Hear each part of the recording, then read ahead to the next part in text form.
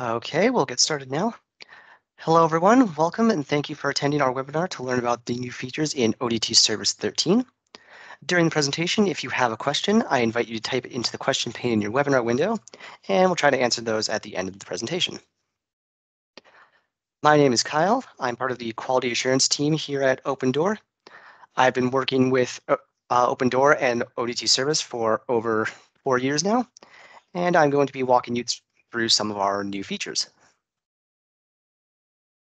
So our agenda for today, uh, I'm going to be demonstrating our return merchandise authorization that we added to our warranties functionality, followed by service notification emails. After that will be a demonstration of our new remote signature capture using DocuSign, as well as a demonstration of our support for Topaz signature pads. After that, I'll give a quick overview of some additional features that are part of this update, as well as a roadmap for the next release. And at the end of the presentation, if you have any questions, we'll try to answer those. So the first feature for today is Return Merchandise Authorization, or RMA.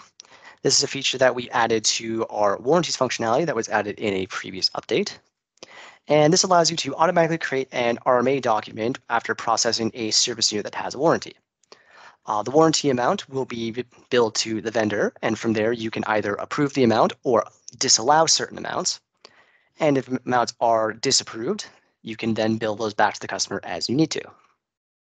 So here we are in Business Central. If I open up our service ticket, and I've already created a service ticket here with a warranty that has been enabled, as you can see if this checkbox here. If I go and create our sales invoice, we'll open that up and post. And you can see right here, we have a message saying that our return merchandise authorization has been created.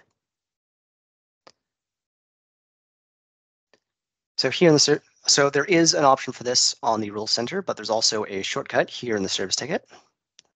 So I will select that. And here we are in our RMA document. And if we scroll down here, you can see we have a line for the warranty amount that was specified earlier. Now, if this is, everything looks good here, you can just post the document and that's it. But let's say, for example, you're reviewing this document and you decide, well, no, I think only, let's say 60 should be allowed for this warranty claim change your amount to read 60. And when we select post, and you see we have another message here that a sales invoice has been automatically created for the extra amount that we decided was not allowed.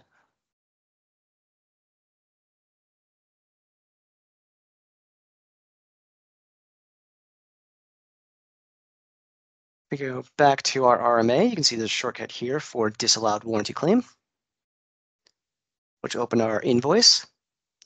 See the invoice has been made for our disallowed amount. And you can see it has been automatically made for our previous customers, so we can bill it back to them. All right, our next feature to demonstrate is going to be service notification emails. So this feature allows you to create and customize email notifications that can be sent out to technicians or customers. Uh, many of them can be automatic automated for tasks such as sending technicians a to-do list of tasks or when a new planned maintenance ticket has been created. Uh, there is also an option to send links to customers directly to the service ticket, which will be the one that I demonstrate today. So here we are back in Business Central. I just open up our search here.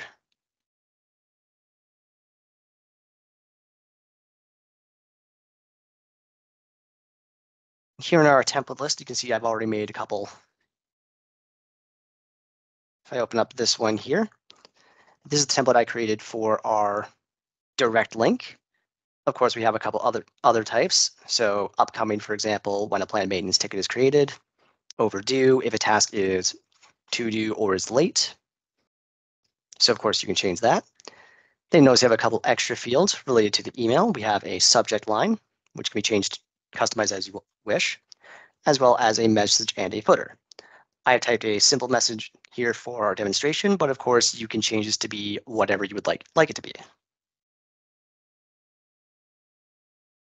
So with that done, I go into our service ticket, and you can see up here in our header, there's an option for send service ticket link. If I click that, it brings up our little email screen here.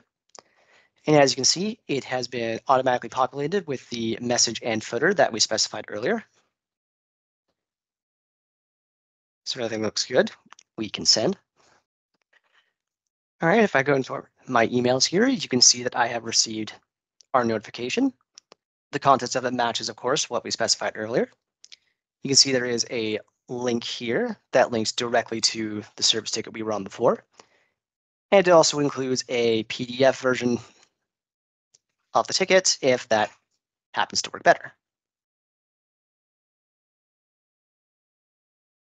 Now, of course, this is the email for direct notifications, but there are other notifications as well that will function similarly. All right, the next feature to demonstrate today will be remote signature captures using DocuSign. This, as the name describes, allows you to send an email to your customer to receive their sig signature remotely using the DocuSign service. So if I go into the Business Central here, and I open up our ticket. And you can see there's an option here labeled send for signing. If I click on that, there we are, e-signature sent successfully.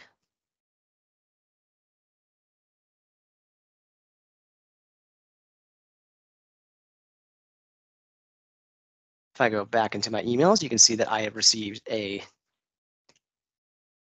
email from DocuSign.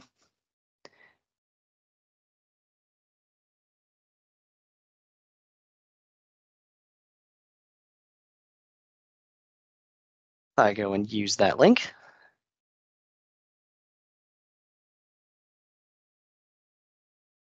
And you can see we are now in DocuSign with our service ticket. And once we're done reviewing, we can simply go ahead and sign that as we need to. Uh, once this is signed and has been received back, it will be stored in Business Central so you can review the signature later. All right, and the last feature to demonstrate for today is the addition of support for Topaz signature pads. So similar to the picture that is on display here, uh, if you have one of these physical signature pads connected, uh, you can have someone write on these signature pads to capture signatures that way instead of having to do it digitally when signing service documents. So here we are in Business Central. If I go all the way down to the bottom here for our document signatures, you can see we have an option here for signature capture Topaz. Now, if I click this, it looks very similar to our normal signature capture. Uh, on my desk in front of me, I have a signature pad like the one in the picture. And if I start to write on it,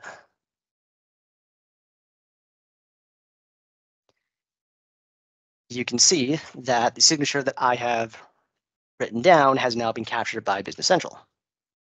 So if that looks good, we can accept and sign. And now we have signed our service document. So just another way to make getting signatures a little more easy. All right, well, that's all the features uh, to demonstrate for you today, but of course, there are a couple more additions in this update. Uh, we've added a new report for uh, listing all service tickets that are ready for processing and invoicing. Uh, we've added support for multiple pictures to individual service ticket lines.